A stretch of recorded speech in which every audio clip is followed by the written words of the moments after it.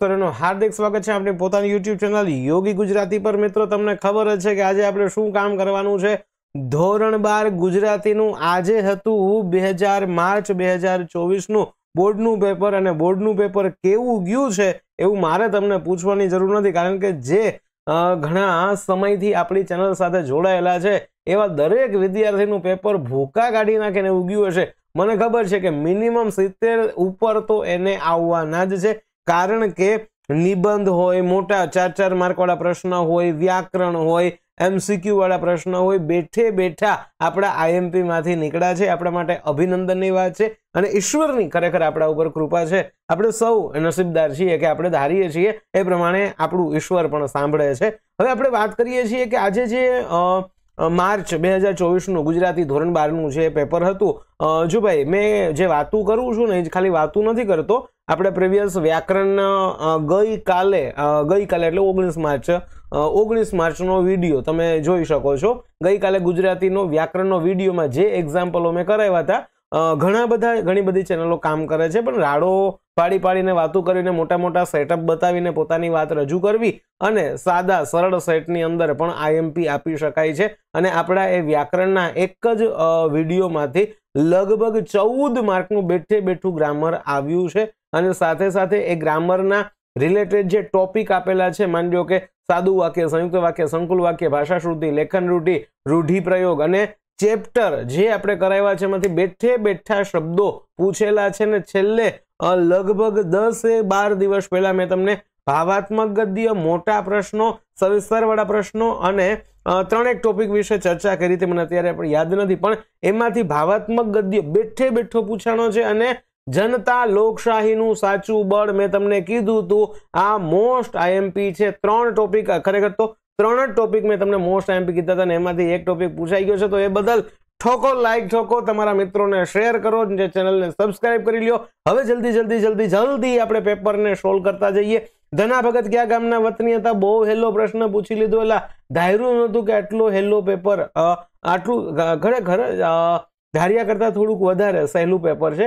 હા, દસેક માર્કના થોડાક અઘરા પ્રશ્નો પણ છે. એમાં ના પણ ન પાડી શકાય. પણ આપણા છોકરાઓને નહીં વાંધો આવ્યો હોય, આવડી ગયું હશે. જુઓ ધના ભગત કયા ગામના વતની હતા.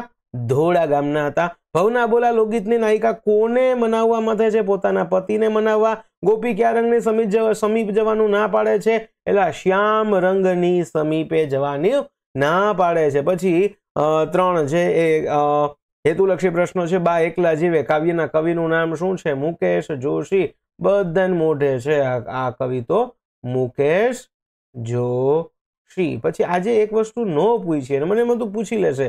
કોઈ કવિનું ઉપનામ નામ ન આવ્યું એ થોડુંક અ, બોલવાળા ભૂલી ગયા લાગે છે. જુઓ કાવ્યનો સાહિત્ય પ્રકાર જણાવો. આવડી ગયો ને બેટા? ગઝલ. શું આવે? ગઝલ.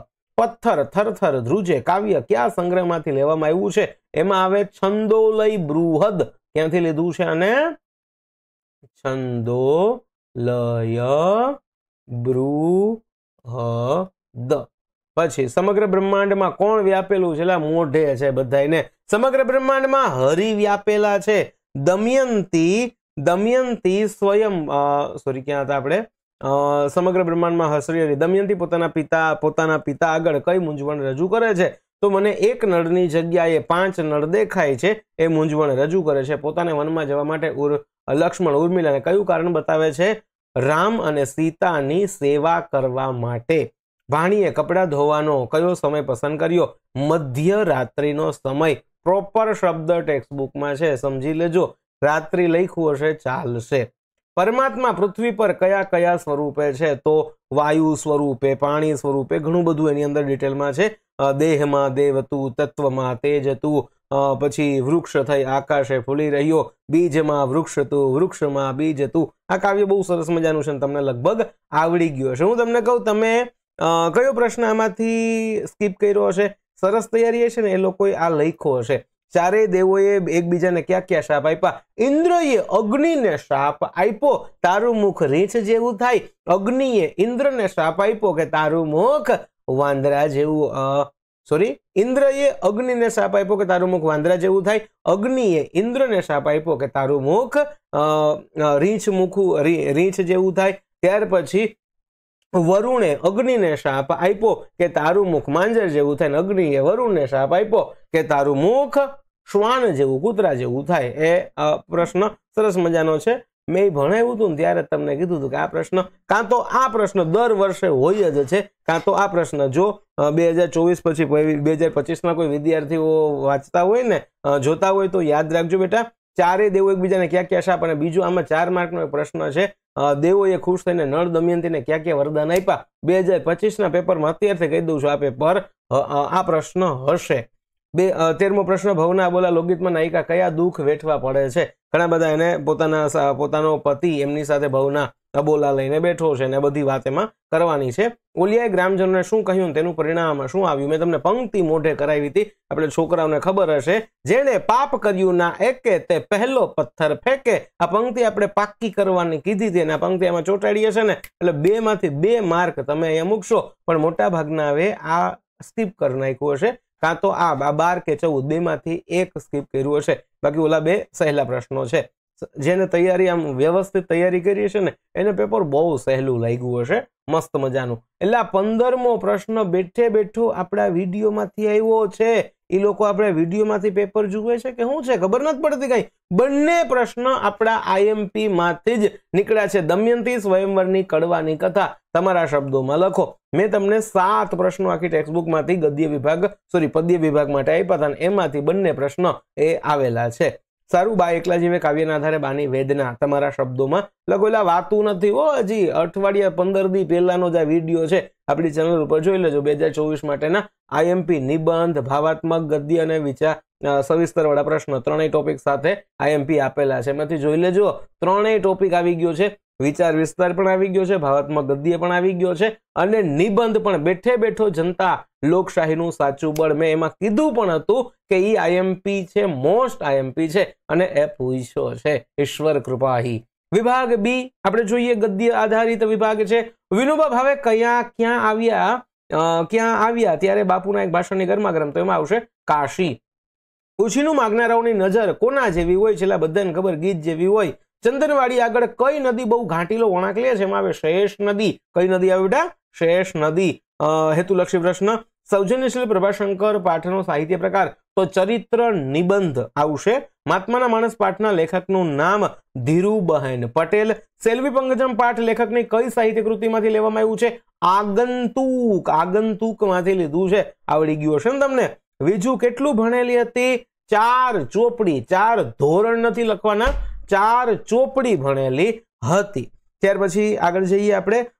તો ત્યાર પછીનો પ્રશ્ન અહીંયા તમારી સામે તમને દેખાતો હશે કે અનુરુદ્ધ અને તેના મિત્ર, મિત્રો કઈ રમતમાં લીન હતા? તો લખોટાની રમતમાં. ડોક્ટર બાબા સાહેબના જીવનની તત્વત્રયી, સમતા, બંધુતા, સ્વતંત્રતા, આવું તમને છેલ્લે લખાયું હતું, ઓલું ગ્રામર સોરી એમસીક્યુ કરાવતો હતો ને, એમાં વચ્ચે મેં તમને કીધું હતું કે એમસીક્યુમાં છે અહીંયા પણ બની શકે છે કે આ પ્રશ્ન એક વાક્ય માટે વોટ ફેવરેટ છે એની બેઠે બેઠો પૂછ્યો છે. પૂછ્યો કે નહીં? તો લાઈક બેક તો કરી દો યાર. હવે આગળ વધીએ આપણે. મોટા ગાંધી ક્યાં હતા આપણે? ભોજાના, ઓકે, ભોજાએ રહેઠાણમાં શું બનાવ્યું? કુબો બનાવ્યો હતો. ભોજાએ રહેઠાણમાં શું બનાવ્યો હતો? કુબો. કુબાની જોડણી સાચી લખીને જો કે આમાં માર્ક નહીં કાપે. ગાંધીજીના પ્રત્યુત્તરની કઈ વાત વિનોબાને સ્પર્શી ગઈ? સમાધાન વાતોથી નહીં, પણ જીવનના સ્પર્શથી થશે. આ તમને ગોખાયું હતું, પાકું કરાયું હતું ને બેઠે બેઠું પૂછ્યું છે. એટલે એમાં થોડુંક ડિટેલમાં લખવું પડે. મોટા હોલમાં પ્રવેશતા નાયકને કયું દ્રશ્ય જોવા મળે? ત્યાં એને જોયું હતું ને, ઓલું શેલ્વી પંકજમનું માનવ કદનું ચિત્ર હતું. એ જોઈને એને આશ્ચર્ય થયું હતું કે અહીંયા એનું ચિત્ર કેમ હશે?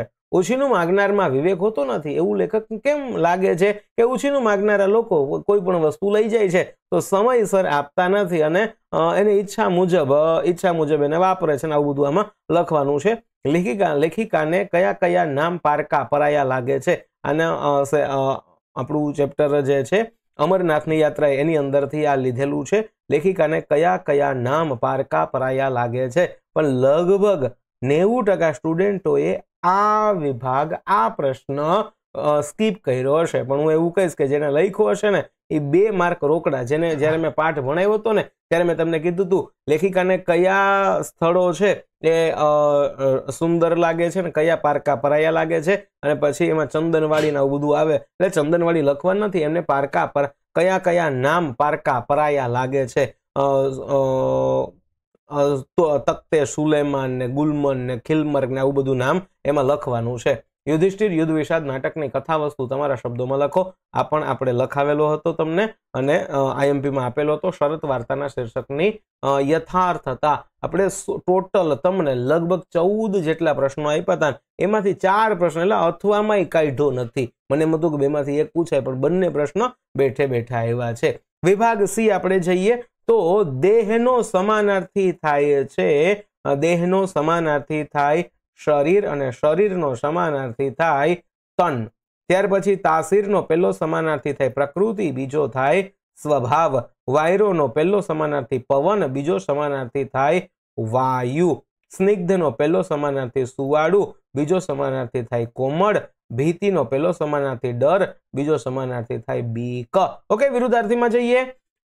અમે ત્રણે ઘોડે સવારીની આવડતવાળા, આવડતનો વિરુદ્ધાર્થી થાય. અણ, આવડત. રાજમુગટ પર કલંક લાગ્યું છે. જો આ હેરાન કરી દે એવું વાક્ય હતું થોડુંક, મેં તમને ચેપ્ટર ભરાયું, ભણાવ્યું હતું ને, ત્યારે તમને સમજાવ્યું હતું કે કલંકનું વિરુદ્ધાર્થી થાય નિષ્કલંક. પણ હજી ટ્વિસ્ટ બાકી છે. નિષ્કલંક ખાલી લખી નાખો. તોય ભેગું નથી થાય એમ. નિષ્કલંક લાગ્યું છે. ત્યાં લાગ્યું નથી, નહીં લખી શકાય. આ રાજમુંગટ નિષ્કલંક રહ્યો નથી. આમ લખો ને ત્યારે પૂરું વાક્ય થાય. તો જ એનો અર્થપૂર્ણ વાક્ય બને. પણ બીજા હેલા છે. મેનાબેન ઉત્સાહમાં આવી ગયા. બેઠે બેઠું વાક્ય છે. નીચેના ત્રણેય. આ ત્રણેય વાક્યો આપણા આઈએમપી માંથી જ છે. મેના બહેન, એટલે આઈએમપીએલ એમાં ઢગલો એ કંઈ નહોતા આપ્યા. મેં તમને વિરુદ્ધાર્થીમાં છે ને, લગભગ વીસથી પચીસ સત્યાવીસ જેટલા વાક્યો આપ્યા એમાંથી ચાર વાક્યો અહીંયા દેખાય છે તમને. અહીંયા પણ આવેલું છે. એટલે ચારે ચાર એમાંથી બેઠે બેઠા છે. મેનાબેન ઉત્સાહમાં આવી ગયા તો મેનાબેન હતોત્સાહી ન થયા. હું અસભ્ય માણસમાંથી સેવક બન્યો છું તો અભ્ય અસભ્યનો વિરુદ્ધાર્થી થાય. સભ્ય, હું સભ્ય માણસમાંથી સેવક બન્યો નથી. મને શરત મંજૂરો છે તો મંજૂરનો વિરુદ્ધાર્થી થાય ના મંજૂર તો મને શરત ના મંજૂર નથી. જીવ માત્ર પ્રત્યે એકાત્મતા કે સરખામણું, તો એનો વિરુદ્ધાર્થ સોરી શબ્દ સમૂહ માટે એક શબ્દ એમાં આવે, સમાનતા. વડના વૃક્ષ પર આવતું ફળ એમાં આવે, ટેટા. બીજું કાંઈ નું આવ્યો ટેટુ નથી લખ્યું ને? ટેટા લખવાના છે. જે હિન્દ સૂઝબૂઝ વિનાનું એને કહેવાય દિશા શૂન્ય શું કહેવાય એને? દિશા શૂન્ય આવી રીતે લખવાનું હતું. સમુદ્રમાં લાગતો અગ્નિ, વડવા, નળ, આંખનો પલકારો. એક બે શબ્દ સમૂહ કદાચ તમને અજાણ્યા લાગ્યા હશે. એને કહેવાય નિમિષ. પણ આ ડિટેલ આઈએમપીમાં નહોતા આપ્યા. હું સ્વીકારું છું. પણ જ્યારે ચેપ્ટર ભણાવ્યું હતું ત્યારે તમને આ કરાવ્યું હતું. એટલે આપણી ચેનલ સાથે જોડાયેલા હશે ને વિદ્યાર્થીઓને, મિત્રો એક કામ તો કરજો. તમારા આ જે કોઈ મિત્રો છે કે જે અગિયારમાં છે, દસમામાં છે, એ લોકોને આપણી ચેનલ સાથે જોડવાનો પ્રયત્ન, એક નાનકડો પ્રયત્ન મારા માટે તમે કરી શકો છો. હાટેથી તેનો અર્થ થાય દુકાનેથી. ટાણે, ટાણેનો અર્થ થાય સ યે પછી યુધિષ્ઠિર બે રસ્વ કરી નાખવાના છે આવી રીતે. યુ ધે યુધિષ્ઠિર શ્વેત કેતુ આવી રીતે લખાય. શ્વેત કેતુ. પછી સુનકારમાં સુ આવી રીતે કરવાનો છે બાજુ બાકી બધું એમને લખી શકીએ. માનવ જીવનનો દરજ્જો તો વાઇસરોયની કાઉન્સિલ સભ્ય કરતાંય ઊંચો છે. બેટા, આમાં બે સંયોજક છે. એક સોરી બે નિપાત છે. એક તો સંયોજક નથી, આ નિપાત છે. હજી એક છે ય. કરતા ય, તો અને ય. બેમાંથી એક લખ્યો હશે તોય માર્ક મળશે. ચિંતા ન કરતા. વાત કરતામાં ખાલી જગ્યા માતા ફફડી ઉઠી, અહીંયા જ નહીં આવે તો આવશે. વાત કરતામાં તો માતા ફફડી ઉઠી. ક્યાં ચેપ્ટરનું છે ખબર છે? પેલું ગૌતમ બુદ્ધ વાળું જે છે, અનુરુદ્ધનો ગૃહ ત્યાગ. એમાંથી બેઠે બેઠું આ વાક્ય છે. હું જંગલી જાનવર જેવો છું, વિશેષણ જંગલી થાય. ઉછીનું માગનારની એક ખાસિયત હોય છે, તો એવો જવાબ આવે. અમરનાથ જવા માટે અષાઢ કે શ્રાવણ માસ અનુકૂળ રહે, તો એમાં આવશે કૃદંત ગોતવાનો છે, તો જવા. હેત્વર્થ કૃદંત થાય, પણ પ્રકાર નથી કહેવાનો, તો કૃદંતમાં જવા આવશે. એના હાથમાં, એના હાથ પર ઝાપટ મારીને કહ્યું, દૂરથી આવતો દેખે વાહલાને કંઈક વેગથી તો અહીંયા બેઠે બેઠો શબ્દ છે આવતો. અને પાછળ તો આવે ને બેટા? તો આવે એટલે પ્રકારમાં આપણે જઈએ ને તો પ્રકાર કયો થાય? તો તિતુતા વર્ત માન કૃદંત ઠરીઠામ બેસવું એટલે શાંત બેસવું. રોડવી લેવું એટલે ચલાવી લેવું. દિલમાં દયા, દિલમાં રામ વસવા. આઈએમપી રૂઢિપ્રયોગ મેં તમને કીધું હતું કોઈ બુકની અંદર આની સ્પષ્ટતા આપેલી નથી. દિલમાં રામ વસવા, એનો અર્થ થાય દિલમાં દયા હોવી. દિલમાં રામ વસવા એટલે દિલમાં દયા હોવી. હવે કૌંસમાં આપેલા સૂચનાના આધારે આપણે વાક્ય ફેરવવાનું છે. આ ગલી સાંજે આ ગલી ભેગું લખાય બેટા. આ ગલી આવી રીતે જવાબ લખવાનો છે. આ ગલી સાંજે બેઠે બેઠું આવશે. સાંજે, ઘોડા ઘોડા. ઘો છે ઓ ધો નથી. ઘોડા, પસંદ, અલગ આવશે ને. પસંદ કરી લીધા. કરી લીધા. ઉપર અનુસ્વાર નો આવે. શું કામે? ઘોડો છે પુલ્લિંગ છે ઘણા દોઢા છે ને, અહીંયા અનુસ્વાર કર્યો હશે, પણ અનુસ્વાર નહોતો આવતો. જો કે આમાં લેખન રૂઢિ છે એટલે બીજા કઈ સુધારા કરવાના જ નથી, કરી લીધા હતા. આવું રીતે હતા, નથી કરવાનું, કરી લીધા. પટણીની પોણોસો, હવે પટણીની બરોબર છે, પોણોસો ભેગું કરવાનું હતું. પોણો સો વર્ષની કારકિર્દીમાં કારકિર્દીની જોડણી ચેક કરવી પડશે. કાર અને કી છે ને, એ દીર્ઘ આવશે. કાર દી આવી રીતે. પછી કાર્ય સિદ્ધિ ભેગું કરવાનું. કાર્ય સિદ્ધિઓ અસંખ્ય છે. ઓકે? તો પટણીની પોણો સો વર્ષની પોણો સો ભેગું થઈ જાય. કારકિર્દીની જોડણી સુધારવાની છે અને કાર્ય સિદ્ધિઓ સાથે લખાય. ઓરડો નાનો, પરંતુ ખૂબ ચીવટમાં. અહીંયા માં છે નીકળી જાય ચીવટથી સજાવેલો હતો.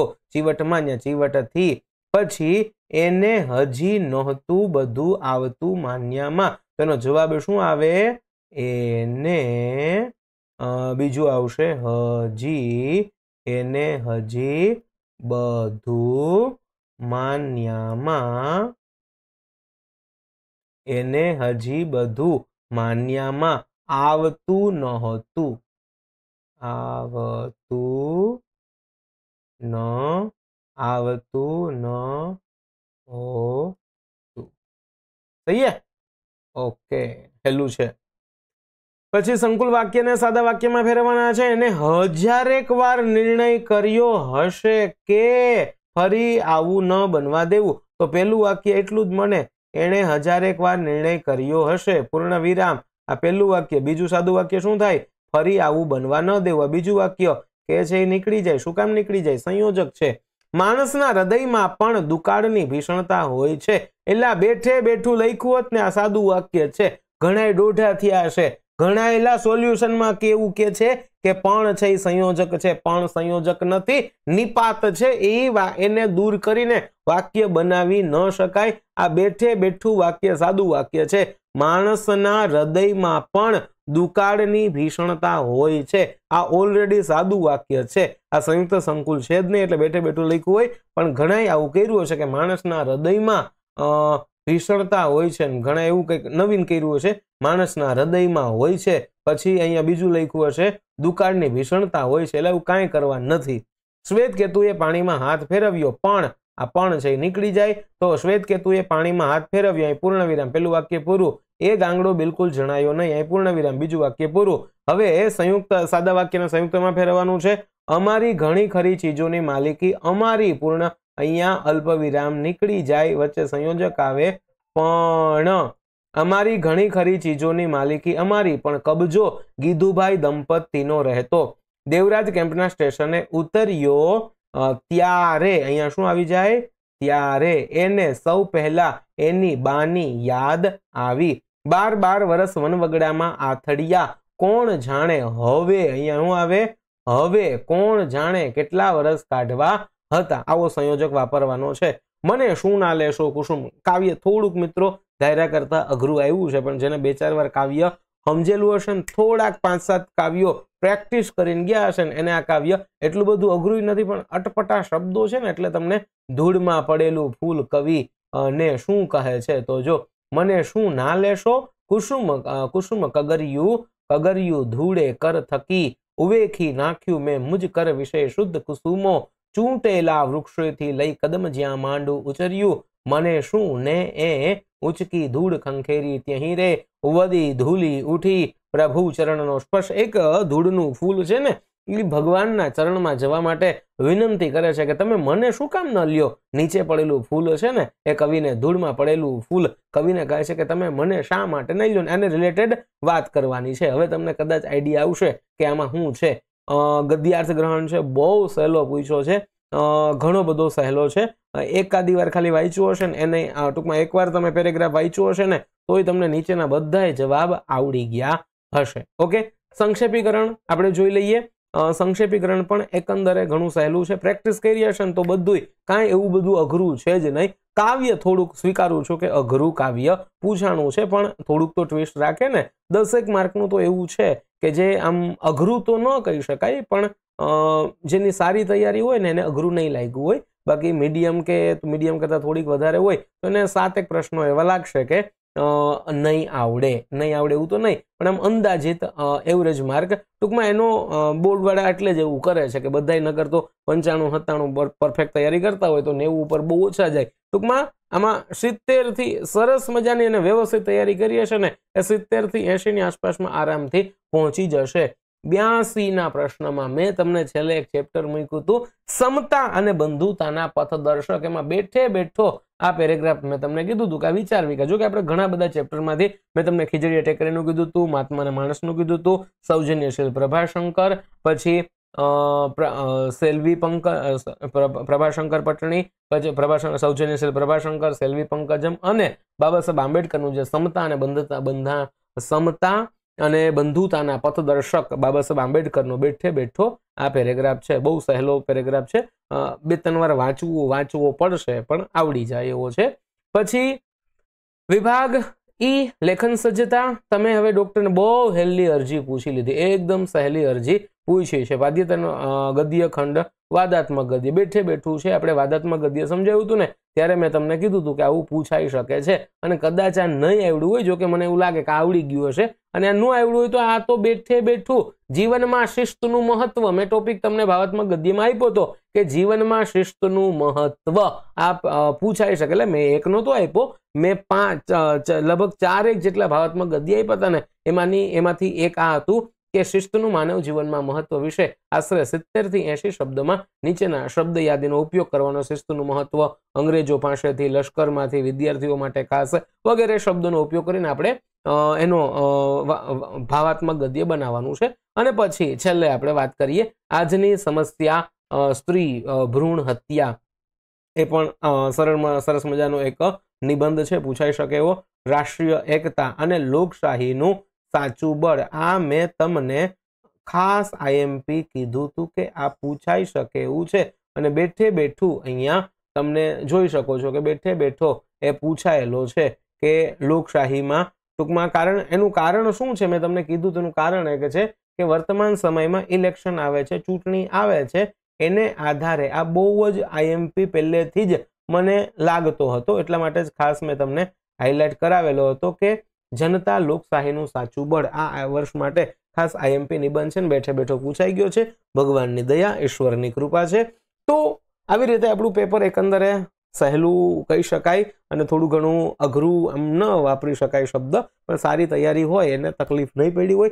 તમારે કેટલા માર્ક આવશે ને મને સજ કમેન્ટ કરજો. વીડિયો પસંદ પડ્યો તો ચોક્કસથી લાઇક કરજો. તમારા મિત્રોને આપણી ચેનલ સાથે જોડવાનો નાનકડો પ્રયત્ન કરો તો મને ગમશે અને જો લાઇક બાઇક કરશો સબસ્ક્રાઇબ કરશો તેનામાંથી મને મોટિવેશન આવે અને એનાથી પણ સારા વધારે ઉત્તમ વીડિયો બનાવવાનો મારો પ્રયત્ન રહેશે. ફરી મળશું નવા વિડીયોમાં. ત્યાં સુધી આવજો. જય શ્રી કૃષ્ણ. નમસ્કાર.